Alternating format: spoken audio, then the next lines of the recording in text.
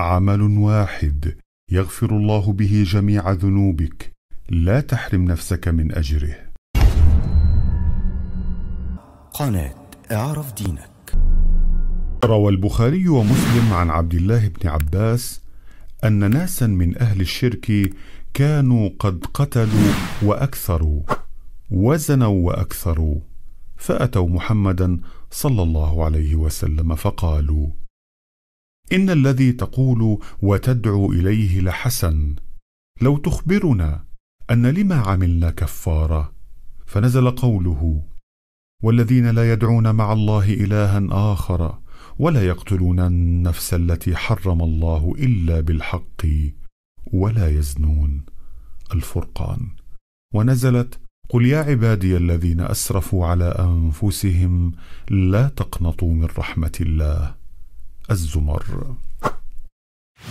ومن أصول أهل السنة أن جميع من أسرف على نفسه من أهل الإيمان أو الشرك إذا تاب قبل أن يموت فإن الله سبحانه وتعالى يقبل توبته ويغفر له.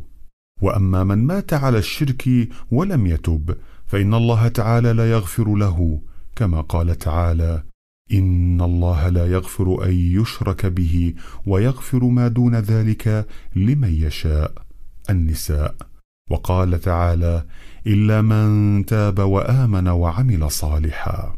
فاما ما عداه فان صاحبه في مشيئه الله.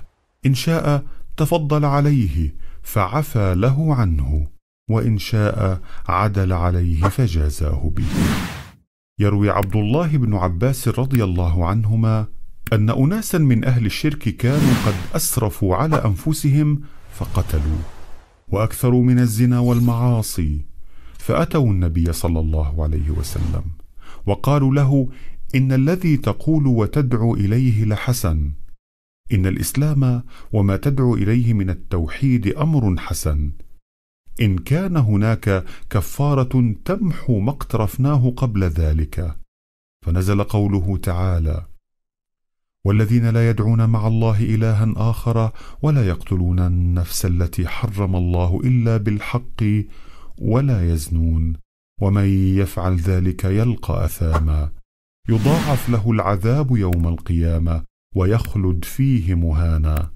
إلا من تاب وآمن وعمل صالحا فأولئك يبدل الله سيئاتهم حسنات وكان الله غفورا رحيما.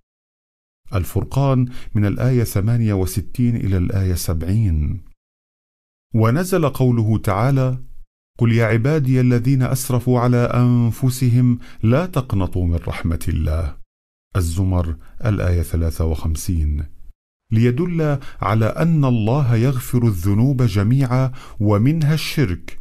لو تاب العبد وأناب إليه وأتاه. وفي الحديث سعة رحمة الله عز وجل لمن أتاه تائبا. وبما أننا مقبلون على شهر رمضان شهر الطاعة والمغفرة والعتق من النيران فإن التوبة النصوح قبل مواسم الخير من أسباب تطهير القلب من اذران الذنوب والمعاصي وتهيئته للسير في مدارج السالكين والرقي في درجات المقربين.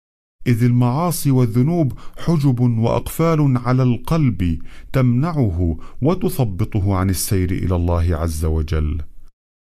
ومتى ما تخفف العبد من أثقاله وزالت الحجب عن قلبه سمت روحه وعلت نفسه فحينها يجد نشاطا واقبالا على الطاعة في رمضان فتجده يسابق في الخيرات بنفس مقبلة تواقه للخير.